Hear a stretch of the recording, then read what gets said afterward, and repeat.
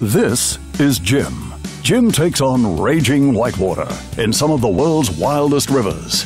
But there's one place Jim won't take chances on a holiday road trip with his family. Before leaving, Jim checks the weather forecast. Rain makes driving tougher, and it's good to plan ahead. He's an ace navigator, but he's still prepared with GPS, maps, and his mobile phone.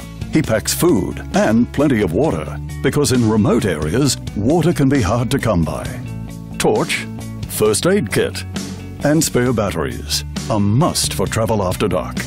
He's checked his car insurance is up to date and keeps the details on hand just in case. The gear always piles up. He checks it all fits and doesn't block his view of the road.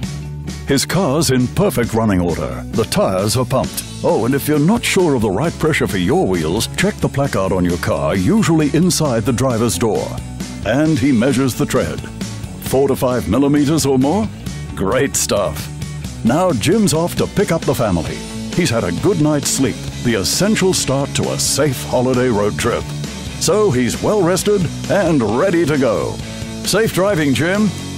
You kayaking mountain of a man.